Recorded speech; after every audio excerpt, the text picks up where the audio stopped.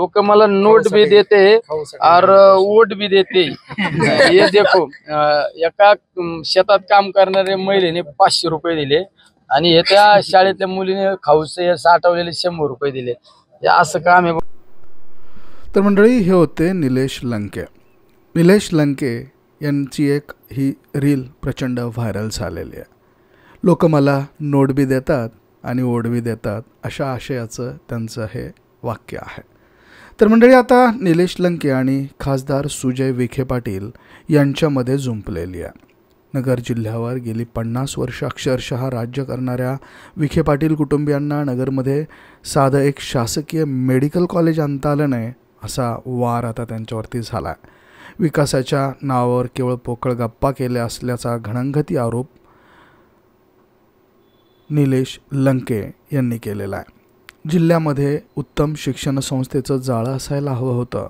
पण विखेंच्या नाकर्तेपणामुळे होतकरू व विशा हुशार विद्यार्थ्यांना शिक्षणासाठी जिल्ह्याच्या बाहेर जावं लागलं अशी खंत त्यांनी नुकतीच बोलवून दाखवले.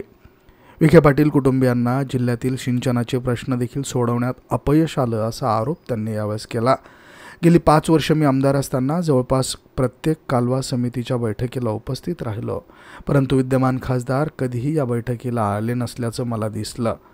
तुमच्या पक्षाचे कितीही आमदार खासदार जिल्ह्यामध्ये असोत पण जेव्हा आपापल्या भागाचा पाणी प्रश्न येतो तेव्हा प्रत्येकजण आपापल्या भागाच्या पाण्यासाठी कालव्या समितीत आपली बाजू मांडत असतो. नगरच्या जनतेच्या हक्काच्या पाण्यासाठी त्यांची बाजू मांडण्यासाठी खासदार महोदयांनी यायला पाहिजे होतं. असा त्यांनी यावेळेस आरोप केला. आज घडीला शेतकऱ्यांची दयनीय अवस्था असल्याचं देखील ते यावेळेस म्हणाले. शेतकऱ्यांच्या मालाला योग्य भाव मिळत नाही. त्यांच्या कष्टाचं चीज व्हावं यासाठी खासदारांनी त्यांची बाजू मांडणं गरजेची होतं असं देखील त्यांनी यावेळेस म्हटलेले आहेत.